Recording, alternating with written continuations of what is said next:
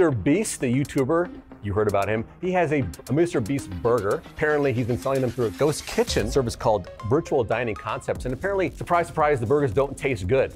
The enjoyers of this burger said it tasted, quote, revolting. So Mr. Beast, of course, is suing because he can't have his name associated with a revolting burger. He's suing for sort of reputational damage there. We'll see what happens. I just think it really, this is a cautionary tale for so many influencers out there, right? You're trying to expand too quickly. You don't have that quality control. You're trying to get your name across everything. If you do that and you're not careful about it, it can come back to bite you. This very much is, right? People are saying yeah. that terrible. It's the worst burger that they've ever had. It's revolting. revolting.